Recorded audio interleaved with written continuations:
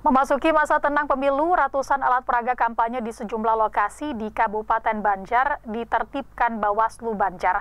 Didampingi Satpol PP dan juga TNI Polri, penertiban ini dilakukan agar bersih dari segala aktivitas kampanye hingga 13 Februari. Sebanyak 400 lebih alat peraga kampanye di Kabupaten Banjar ditertibkan Bawaslu Kabupaten Banjar lewat bantuan Satpol PP dan TNI Polri.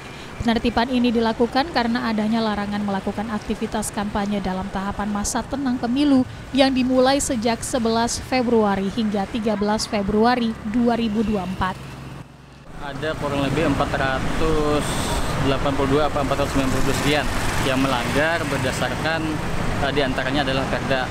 Nah, cuman yang perlu digarisbawahi dan dipahami bahwa ini tidak lagi berbicara soal perda, tapi ini bicara soal aturan di kepemiluan bahwa ketika masa tenang maka tidak ada aktivitas apa pun terkait soal kampanye, termasuk peraga kampanye. Jadi ini berlaku tidak ada pengecualian.